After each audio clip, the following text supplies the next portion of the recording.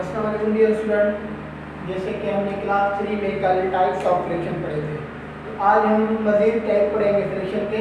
कल हमने पढ़े थे proper fraction improper fraction and unit fraction तो आज हम दो और टाइप लाए फ्रिक्शन के like fraction and unlike fraction like fraction क्या होता है? Fraction with the same denominators are called like fraction like fraction हम उसे कहते हैं जिनके डिनोमिनेटर्स सेम हो।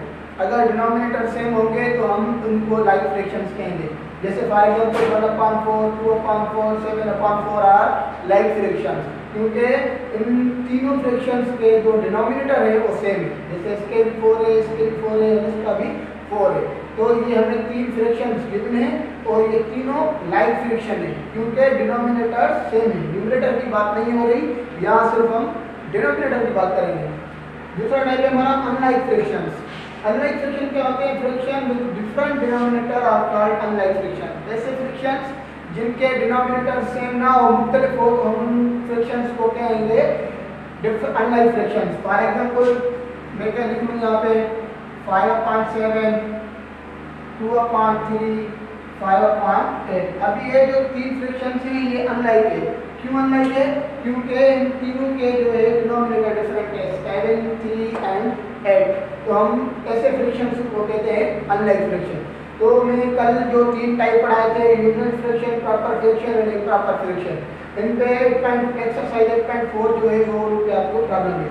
उससे नंबर वन है observe the following fractions and write them in correct row हमें ये कुछ फ्रिक्शंस गिवन है तो हमें इनमें से सिलेक्ट करने हैं कौन सा फ्रिक्शन कौन सा है। ये तीन फ्रिक्शंस के टाइप है। यहाँ पे यूनिट प्रॉपर एंड इम्प्रॉपर इनमें से बताना है आपको यूनिट कौन सा है प्रॉपर कौन सा है और इम्प्रॉपर कौन सा है। नंबर वन है one upon eight one upon eight पहले पहले यूनिट फ्रिक्शन क्या होता है?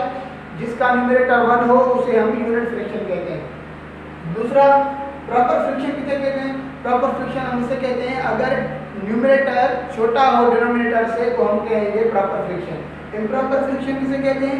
अगर न्यूमरेटर बड़ा हो डिनोमिनेटर से तो हम कहेंगे इम्प्रॉपर फ्रिक्शन तो हमें इसमें से सिलेक्ट करके लिखेंगे. वन अपान एट अब देखो वन जो है इसमें न्यूमरेटर है. तो अगर न्यूमरेटर वन होता है तो हम उसको कहते हैं यूनिट फ्रिक्शन अब ये जो तीन फ्रिक्शन है एक ये एक ये और एक ये इन तीनों फ्रिक्शंस में जो वन है वो न्यूमरेटर है.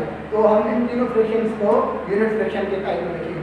अब प्रॉपर फ्रिक्शन अब देखेंगे, जिसमें भी न्यूमरेटर छोटा होगा, वो सब हम याद लेंगे टू अपान सेवन ये प्रॉपर है फाइव अपान नाइन प्रॉपर है eight upon nine eleven proper है तो ये मैंने तीनों प्रॉपर में लिखे। Seven upon twenty seven five upon fourteen thirty three thirty four forty five seventy one two upon ten six upon twenty seven ये सब हमारे क्या है प्रॉपर फ्रिक्शन में मैंने लिख दिए और इम्प्रॉपर में क्या होता है, जिसका न्यूमरेटर बड़ा होगा। देखो इसमें नाइन अपॉन फाइव में न्यूमरेटर बढ़ा है, मैंने नाइन अपॉन फाइव यहाँ लिखा है। और ट्वेंटी टू अपॉन सेवनटीन का इसका न्यूमरेटर बढ़ा है, मैंने यहाँ लिख दिया और सिक्सटीन अपॉन थर्टीन में न्यूमरेटर बढ़ा है, और ये लास्ट वाला फोर्टीन अपॉन नाइन ये चार फ्रिक्शन जो है, वो प्रॉपर है, क्योंकि इनके न्यूमरेटर बड़े हैं। तो हमने ये लाइक ऑफ़ फ्रिक्शन कंप्लीट करनी है। जो टाइप्स ऑफ़ फ्रिक्शन है, आपको उनके प्रैक्टिस करनी है। और एक टॉपिक हमारी फ्रिक्शन में से रहती है इक्वलेंट फ्रिक्शन तो वो हम इंशाल्लाह कल सीखेंगे।